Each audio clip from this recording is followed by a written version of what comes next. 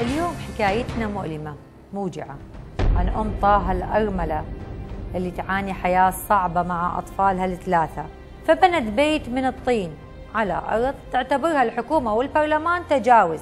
ولا تعتبر الظلم الإنساني والوطني تجاوز على حقوقهم. طلعنا قاعدة بالحواسم هاي وصلت إلى إلى الحكم وإلى السلطة. يعني لا نقول عنوة وإنما بحيلة.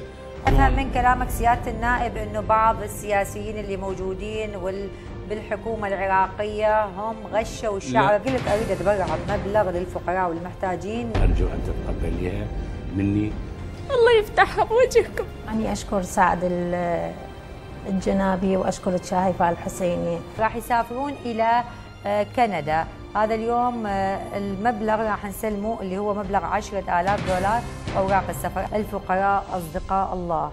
ونحن نسعى هنا لنصرة أصدقاء الله من الفقراء والمحتاجين.